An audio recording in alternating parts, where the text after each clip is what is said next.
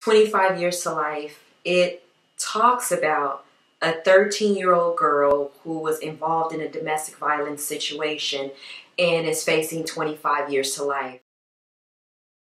I thank God for allowing me to be here because there is absolutely no way that I could be standing and sharing my story in my right mind and a healthy mindset with you without the grace of Jesus Christ in my life. So I can't say that enough. And I am so thankful that I am still sane and whole and complete through such um, a devastating process.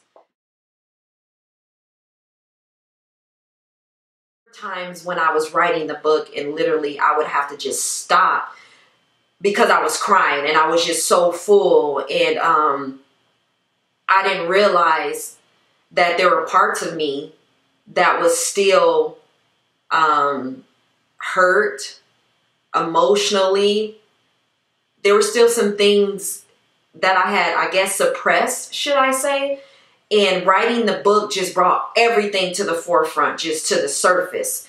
And so it was even that much more healing in the, the writing of the book that I am so thankful happened. Um, so again, I was nervous, I was excited, I was happy all at the same time because I knew that this, I knew and I know that this book is going to help many of people.